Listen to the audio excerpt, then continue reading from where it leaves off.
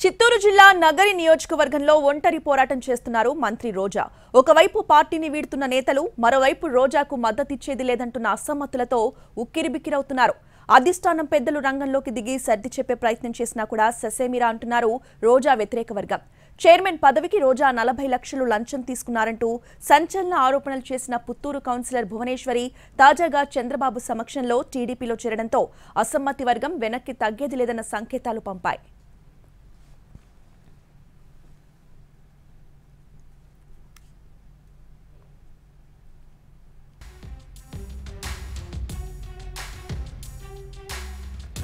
ప్రతిపక్షాన్ని తన మాటల తూటలతో ఇరకాటంలో పడేసే రోజా తన సొంత నియోజకవర్గంలో మాత్రం విమర్శలు మూటగట్టుకుంది. సొంత పార్టీ నేతలపై ఆమెపై కారాలు మిరియాలు నూరుతున్నారు. నగరిలో వైసీపీ మూడు నాలుగు ముక్కలైపోయింది. గత రెండు ఎన్నికల్లో రోజాను గెలిపించడానికి కృషి చేసిన వారే ఇప్పుడు ఆమెపై తిరుగుబాటు చేస్తున్నారు. నియోజకవర్గంలోని ప్రతి మండలంలోనూ సొంత పార్టీ నుంచే రోజాకు బలమైన ప్రత్యర్థులు ఉన్నారంటే పరిస్థితి ఏ విధంగా ఉందో అర్థం చేసుకోవచ్చు. రోజా రెండోసారి ఎమ్మెల్యే అయిన నాటి నుంచి నియోజకవర్గంలో అసమ్మతి బలపడుతూ వస్తోంది. అది ఎంతలా అంటే మంత్రికి వ్యతిరేకంగా మండలానికి ఒక నేత తయారయ్యేలా అసమ్మతి పీక్ స్టేజ్కి వెళ్ళింది. గత రెండు మూడేళ్ళుగా రోజాకు వ్యతిరేకంగా పనిచేస్తోంది అసమ్మతి వర్గం. పంచాయతీ మున్సిపల్ ఎన్నికల్లో వీరి మధ్య వైరం మరింతగా పెరిగింది. ఆ సమయంలోనే రోజాకు మళ్ళీ టికెట్ రాకుండా చేస్తామని సవాల్ సైతం విసిరారు శ్రీశైలం చైర్మన్ చక్రపాణి రెడ్డి. ఈసారి ఆమె ఎలా గెలుస్తుందో చూస్తామని తొడగొట్టి మరీ అన్నారు. అప్పటి నుండి అడపాదడపా వీరి మధ్య గొడవలు వీధికెక్కుతూనే ఉన్నాయి. సీఎం జగన్ సైతం నగరి సభలో కేజీ శాంతి రోజా చేతులు కలిపి కలిసి పనిచేయాలని చెప్పడానికి ప్రయత్నించినా కూడా ఫలితం లేకుండా పోయింది.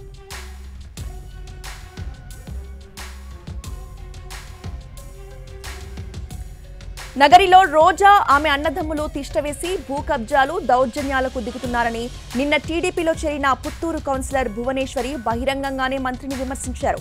పార్టీ కోసం పనిచేసిన కార్యకర్తలకి పదవులు ఇవ్వడానికి డబ్బులు చేశారని ఆరోపించారు.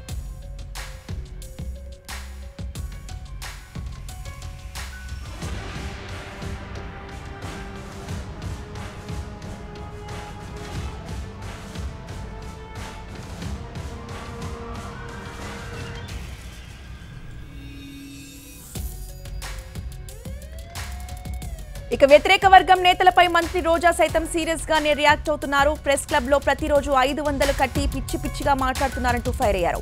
ఇలాంటి వాళ్ళు వైసీపీలో ఉంటే తనకు నగరిలో ఐదు వందల మెజార్టీ వస్తుందని వీళ్ళు పార్టీ నుండి బయటకు పోతే ముప్పై నుంచి నలభై వేల వరకు మెజార్టీతో గెలుస్తానని అన్నారు.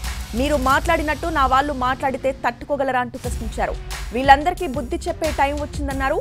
రోజా చేసిన ఈ వ్యాఖ్యలు పుండు మీద కారం చెల్లినట్లయింది. సీఎంఓ నుంచి పిలుపు రాగానే తాడేపల్లికి వెళ్ళి అసలు విషయం కుండబద్దలు కొట్టేశారు అసమ్మతి నేతలు.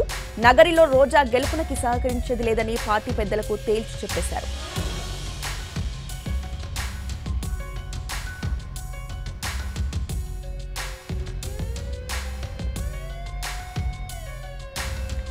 శ్రీశైలం దేవస్థానం trust board chairman Reddivari Chakrapani Reddy Nindra మండల నేత రెడ్డివారి భాస్కర్ రెడ్డి పుత్తూరు మాజీ ఎంపీపీ ఏలుమలై మొదలియార్ ముఖ్య నేత రవిశేఖర రాజు వడమాలపేట జడ్పీటీసీ మురళీధర్ రెడ్డి విజయవరం మండల నేత లక్ష్మీపతిరాజు తదితరులు ప్రభుత్వ సలహాదారు సజ్జల రామకృష్ణారెడ్డి కార్యదర్శి ధనంజయ రెడ్డిలను రోజాపై ఏకరు పెట్టారు.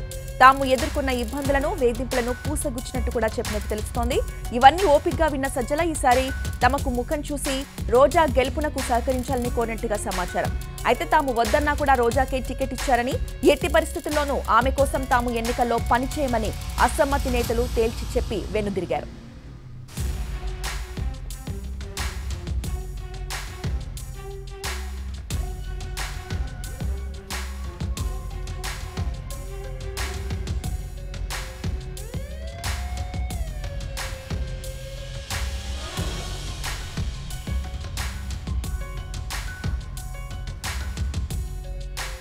దీంతో నగరి వైసీపీలో మంత్రి రోజాకు ఆమె వ్యతిరేక వర్గానికి మధ్య సయోధ్య కుదిరే దారులన్నీ కూడా మూసుకుపోయాయి.